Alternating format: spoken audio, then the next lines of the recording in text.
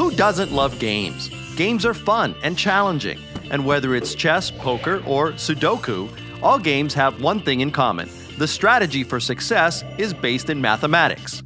Hi, I'm Ed Leon for the Great Courses. The mathematics of games and puzzles, from cards to Sudoku, is a game plan for success in a wide range of exciting games. Your guide is award winning mathematics professor Art Benjamin. I'll show you that with the simplest of mathematical tools, you can vastly improve your ability to play and understand a tremendous number of games and puzzles. You'll marvel at the secrets and strategies behind zero sum games like poker and backgammon, games of chance like roulette, blackjack, and craps, and classic puzzles and brain teasers like Sudoku, Rubik's Cube, and Peg Solitaire.